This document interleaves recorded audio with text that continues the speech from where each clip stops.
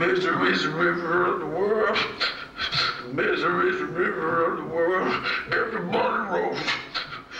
Everybody rolls. Everybody rolls. Everybody rolls. Everybody.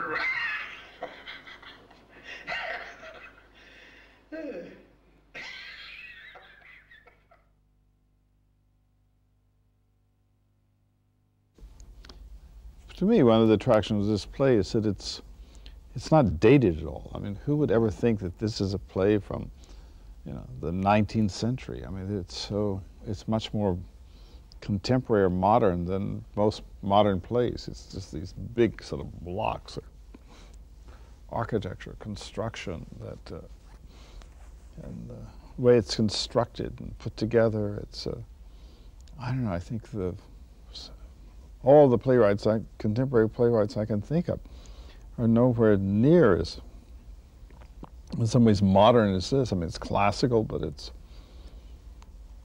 it's very modern. Well, you know, with stories, the, th the hard part about getting the truth out of anybody is that the people who know what really happened aren't talking, and the people who don't have a clue are, are diving across the table for the microphone. Know? And uh, who knows what really happened in the actual story. It really doesn't matter anymore because it's now a story. And once something becomes a story, it's like a hammer or it's a, it's a tool or it's a, a vehicle or a, you know, and, uh, and then, uh, you know, it deals with madness and children and, and obsession and murder and all the things that we care about. It's a very strange love story. I mean, there were, here's Marie and Woyzeck, you know, standing and they're both looking straight ahead. I thought, such a strange and some way bizarre and could be very touching love story. These two people are somehow separate and together and I don't know. No, uh, no, we're writing the songs for, for other singers. Um, I think my voice is going to be the voice of the monkey at this yeah. point. I think yeah. that's the. We have a little monkey in this play, and that's Tom. so I'll be here in, in embodied some way. He's right down front too.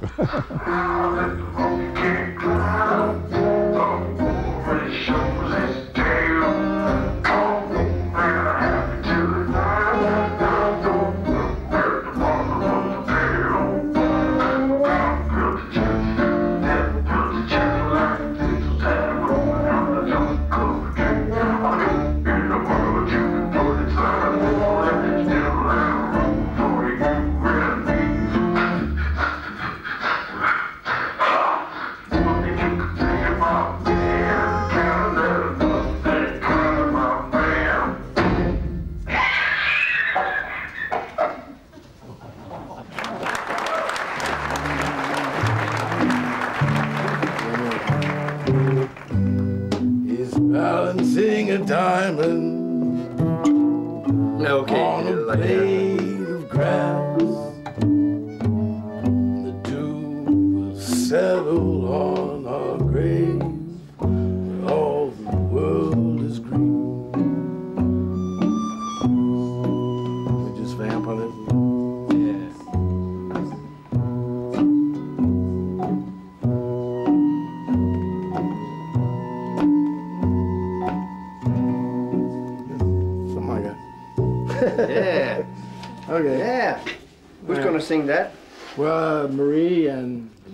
That's a duet. Yeah, yeah, duet. Yeah. Face forgives the mirror. The world forgives the love. The questions begs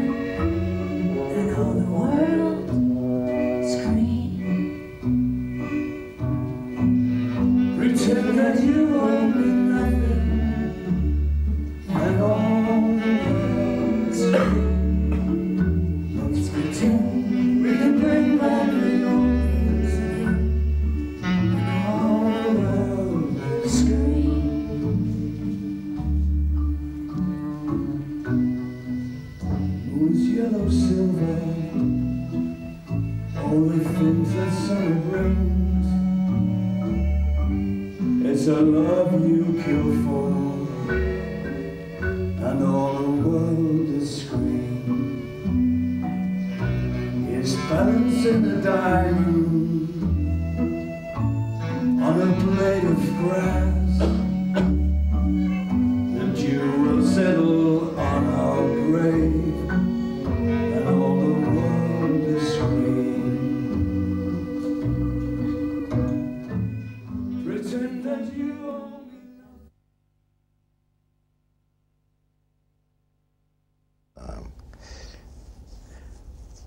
Uh, my wife and I had uh, written a play uh, called Frank's Wild Years, and, and we asked uh, Bob if he would uh, direct the play, and uh, one thing led to another, and um, we didn't actually do that project, but we went on ultimately to do um, two other projects together. We did um, Black Rider and Alice, both with the Thalia Theater. And, um, I guess the thing that I, I realized with Bob, I, I, I agree that we're uh, different men and different approaches to uh, to work. But the fact is, I think that if if two people do in fact know all the same things, that, that one of you becomes immediately uh, unnecessary, and that that there's something uh, um, that I uh, deeply respect about Bob's uh, worldview and.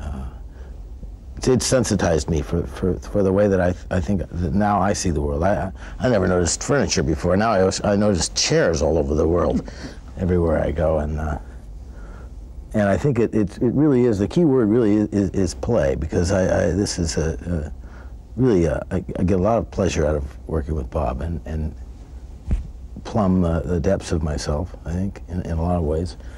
And, um, you know, you lose track of the time. And uh,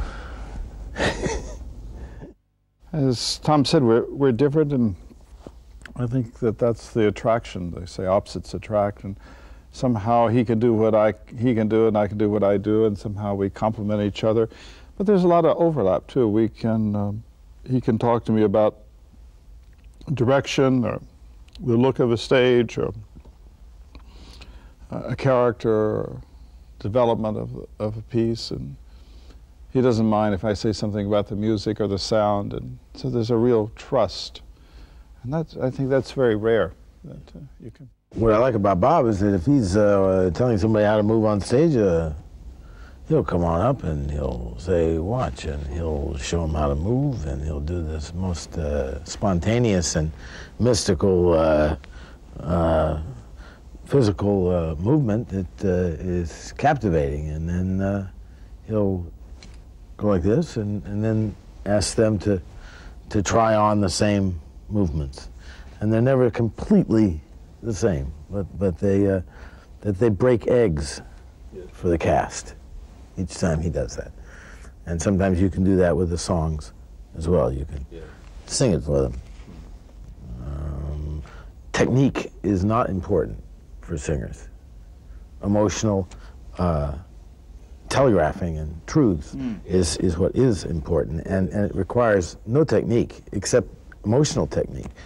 I was in uh, New York, and there was a, a really late at night. I heard an opera voice. Yeah. Like, and I thought, well, it's so so beautiful. And I, and I, uh, was in Chinatown. Like, Yeah. Where's that coming from? We followed it. Yeah. Tried to find the sound. We thought somebody's got to be rehearsing. Yeah. And, and and we thought, what a great chance! We'll sit by the window and we'll hear some real opera. Yeah. In Chinatown. Yeah. So we're looking everyone. We can't find the. The, we can't get any closer to the to the, the sound, sound, yeah. yeah. and we're going all up different streets and, and getting confused. And finally, we see uh, a, a dumpster. Uh, uh, A what? dumpster. Dumpster? What is that? You know, a trash can. Oh, trash can. Yeah, yeah. And there's a uh, Yeah. a lid's open a little bit. Yeah. And we get closer, and the sounds coming from the trash can. Yeah. How about that? And we're hearing like.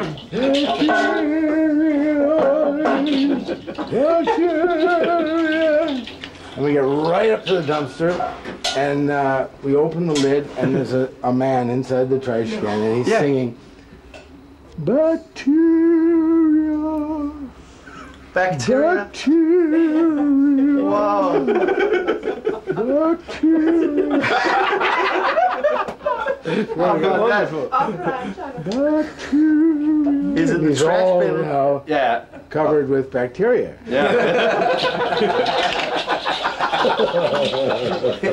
about that? this competition. Bacteria. So I thought we should do something maybe in this where we sing the word bacteria because they're doctors. Yeah. They're doctors and they're Oh, always that's worried why it about came to your bacteria. mind. Yeah. Yeah. They're thinking, Yeah. they're always worried about bacteria. So. Yeah.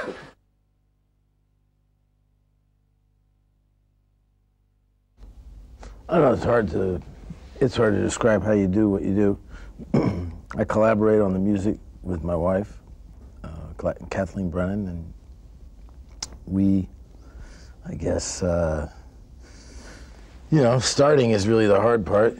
You know, I didn't know the story of, uh, of Woyzeck. I had to find out all about it. And in some ways, it's like writing a um, writing music for a, a murder mystery and, uh, and a children's story, and uh, at the same time.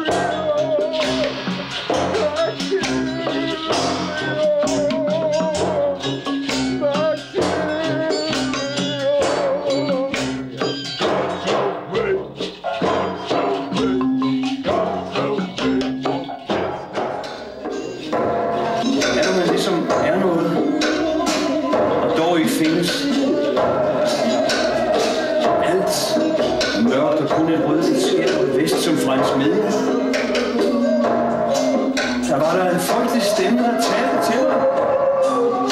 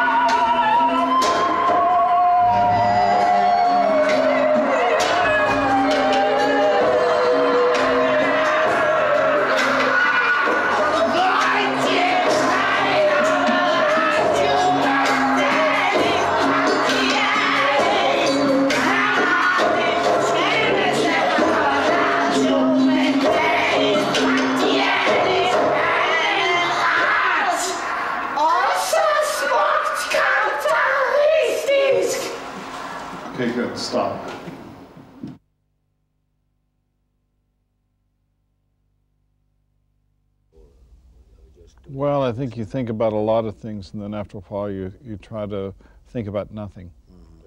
That, uh, I mean, it comes to a point, I mean, I think you, you start thinking about a lot of ideas, and then you dig deep down in the piece and it gets very complicated.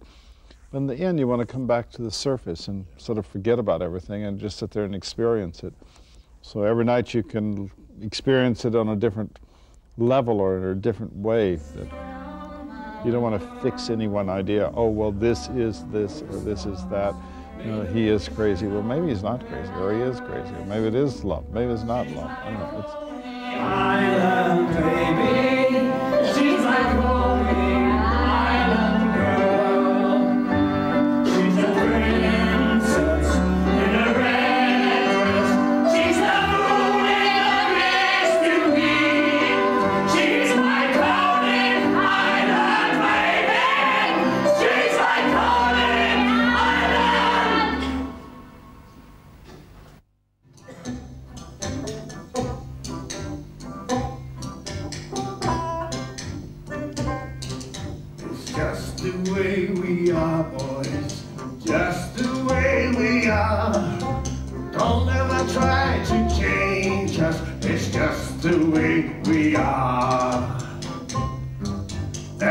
A young soldier named Dice who remarked they say bigamy is nice.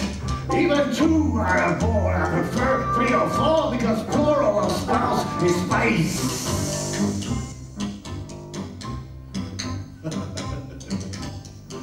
That's the way we are. Don't ever try to change us.